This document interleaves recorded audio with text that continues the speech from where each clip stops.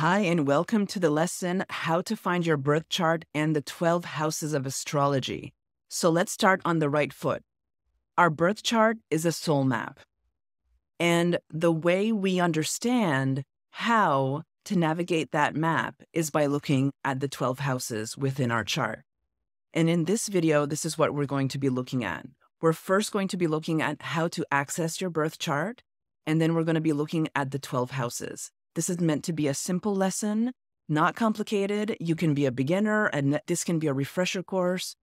The important thing here is that you understand how the stars are affecting you personally, and this is what the houses do. And if you don't know me, my name is Josette LeBlanc. I'm the founder, head teacher, and head energy worker at Intuition Immersion School. If you like this video and it feels right to you, please click like and also subscribe to the channel because it really helps me with the algorithm.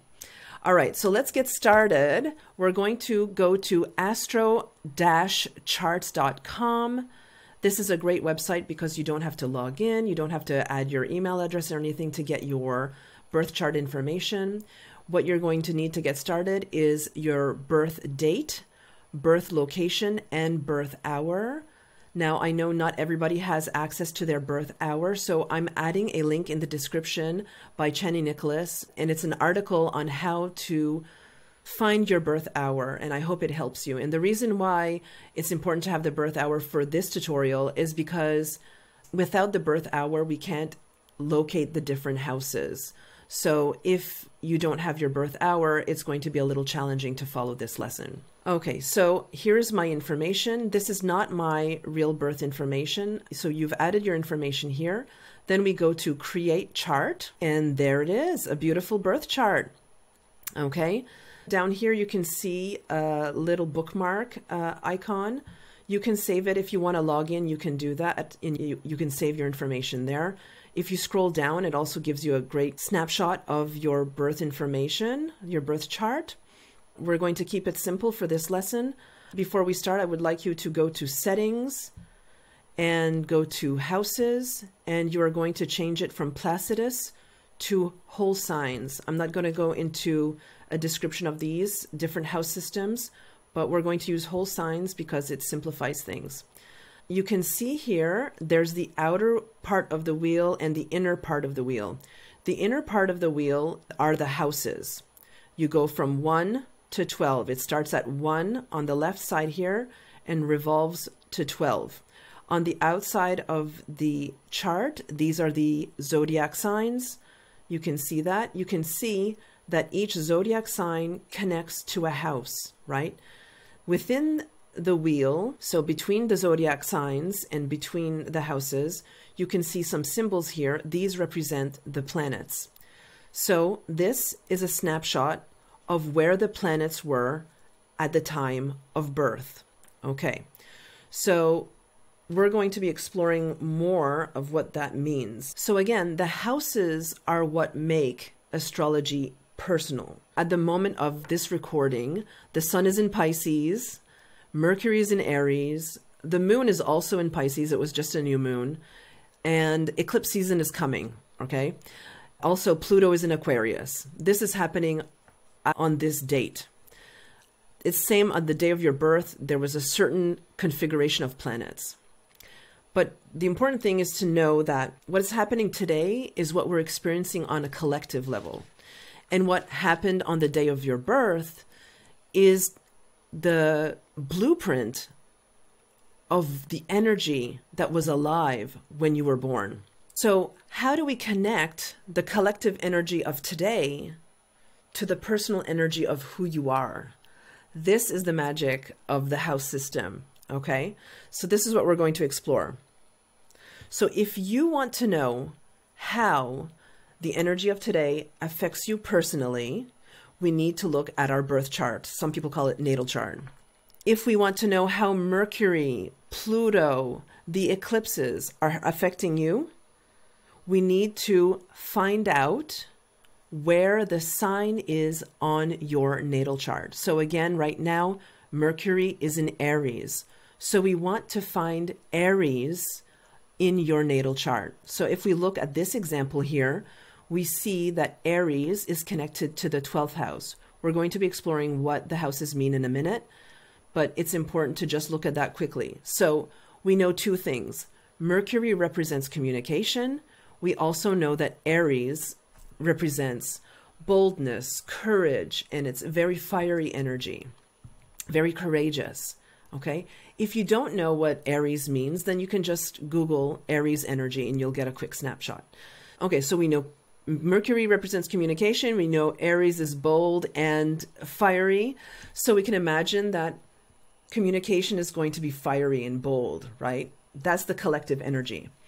But for me personally, if this is my chart, communication is going to be fiery in relation to the 12th house. So the houses represent the wheel of life. They represent experiences and the beginning and end of our human life. And if you're watching this as a lesson in Intuition Immersion School, I've given you a chart to describe the different aspects of the houses.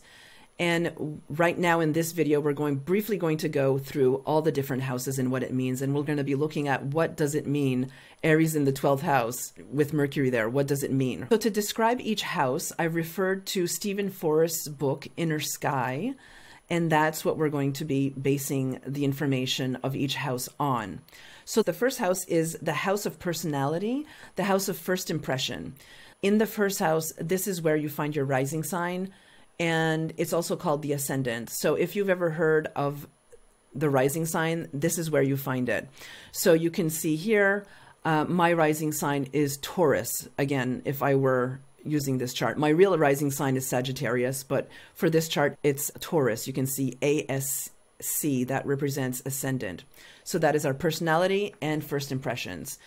So the second house is the house of money, anything to do with finances and safety in that way. The third house is the house of communication. The fourth house is the house of home, so home and security, right? The fifth house is the house of creativity, play, childlike expression. The sixth house is the house of responsibilities, skills, and health. The seventh house is the house of re- relationships, partnerships, contracts. So any con- any contract with somebody in your life. The eighth house is the house of death, life after death, and sexuality. Uh, so anything to do with life after death, the occult, this is the eighth house. The ninth house is the house of wisdom, philosophy, and travel. The 10th house is the house of career, long term goals, and status. The 11th house is the house of community, groups, and shared visions. And then the 12th house is the house of the subconscious, karma, and really spiritual and psychic experiences, as well as the idea of ego death. So it's very much a house that we experience the older we get. So you can see that the whole wheel, the lower houses are very much connected to the beginning of life, how we communicate, how we feel, find our safety within our home, and then houses in the upper uh, half are related more to later in life, career, philosophy, our personal experiences of life. So there is a connection to our daily lives and our whole life in general. So again, Mercury in Aries. All right, so let's look. Mercury Aries in 12th house. So this might find me, I might find myself at this time communicating about the subconscious energy of my life, passionately exploring what makes me tick, what needs to be released in terms of my ego, and communicating that in the world. Now, it might not be as much as an outward communication as it is an inward communication. So, Mercury is communication, it means inner, outer, especially during uh, retrogrades. It's about inner communication and reflection. And so this is a tricky one, really. 12, 12th house Aries and, and Mercury. Let's imagine that Aries was in the second house. So the second house represents money. Mercury in there, in Aries, that means we're going to be communicating about money and our finances in a very passionate way. Maybe we're going to be organizing things in a way that we haven't organized it before. Or maybe we're going to be making some serious money moves in a way that we haven't before. And that's because Mercury is instigating us to take some bold action thanks to the energy of Aries.